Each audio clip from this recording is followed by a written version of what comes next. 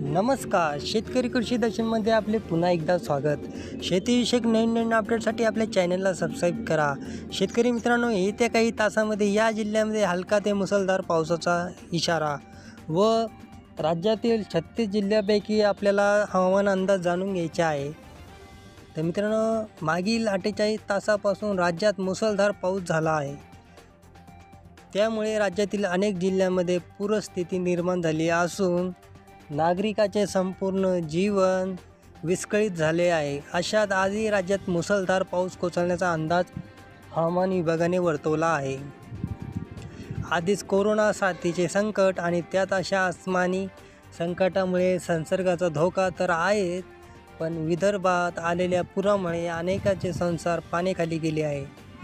हवामान खात्याने दिलेल्या अंदाजानुसार राज्यातील आज पुढील चोवीस तासात काही भागात मध्यम स्वरूपाचा पावसाचा अंदाज वर्तवण्यात आला आहे. राज्यात पालघर ठाणे नाशिक नगरमधील काही भागात मुसळधार पाऊस पडेल तर विदर्भात काही भागात पावसाचा जोर आजही कायम राहील असा अंदाज आहे. तर मुंबईतही पावसाची रिपरिप सुरूच राहणार आहे.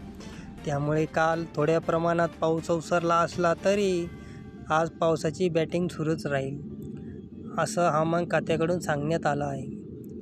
याच पार्श्वभूमीवर अनेक गावांना पुन्हा एकदा सतर्कतेचा इशारा देण्यात आला आहे.